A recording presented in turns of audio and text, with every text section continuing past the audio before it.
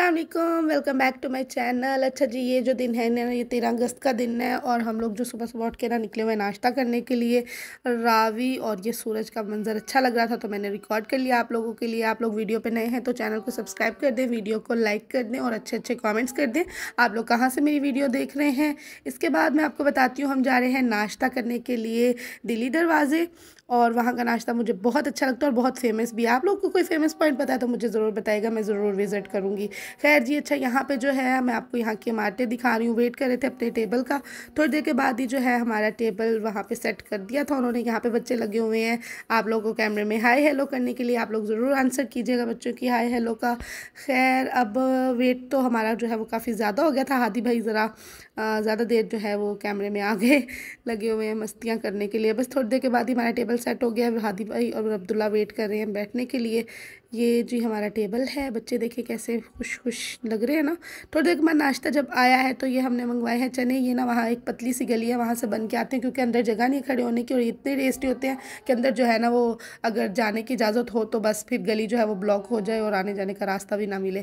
खैर, ये जो पहला बाइट है, ये आप लोगों के नाम, ये चनों का बाइट है, और ये इतना टेस्टी होता है। आप लोगों ने कभी ट्राई किया है, या आप लोगों को पता है दिल्ली दरवाजे के इस फ़ेमस नाश्ते का तो मुझे ज़रूर बताइएगा।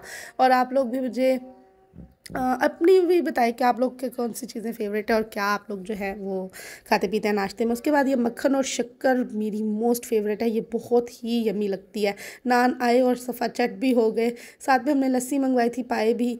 तो ये बाइट जो है मैं ले रही हूँ। उफ़ उफ़ उफ़, ज़रा भर के मक्खन जो है वो मुझे अच्छा लगता है तो मैंने वो लिया। बहुत यमी था, बहुत ज़्यादा। बताते बताते मुझे फिर से जो है याद आ गई है इस मक्खन की। खैर, चले। अब, अल्हम्दुलिल्लाह, खा तो आए थे। अब दोबारा नहीं, अभी जाना फ़िलहाल थोड़े टाइम के लिए।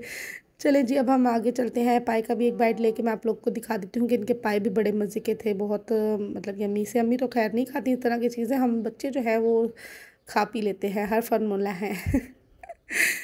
तो बस कुछ बच्चे होते हैं ना जो नहीं खाते इस तरह की चीज़ें, वो बर्गर टाइप के बच्चे, नहीं नहीं, हम वो नहीं है, हम ब्राउन फैमिली से बिलोंग करते हैं तो हम लोग हर जगह पे हर चीज़ चलती है। हम लोग हर चीज़ खा ले, खा पी लेते हैं, अल्हम्दुलिल्लाह अल्हम्दुलिल्लाह। उसके बाद बस ग्रॉसरी की और घर आ गए। छोटू सा व्लॉग था आज का।